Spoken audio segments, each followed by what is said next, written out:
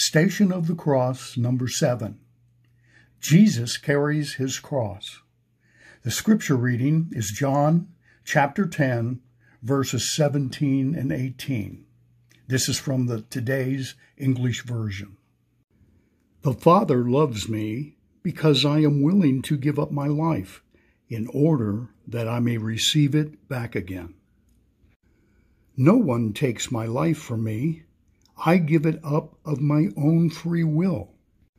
I have the right to give it up, and I have the right to take it back. This is what my Father has commanded me to do. I wanted to share a little of what this verse means to me. Jesus had to carry the cross, which was our sins against the Father. The death of Jesus was completely voluntary, but it was part of a plan to submit to death and then to emerge from it victoriously alive. In this way, our sins would be completely forgiven.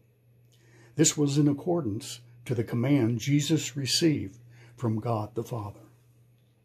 Will you pray with me?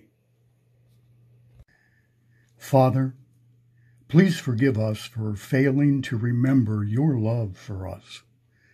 Life can get busy, and it's easy to forget your amazing grace.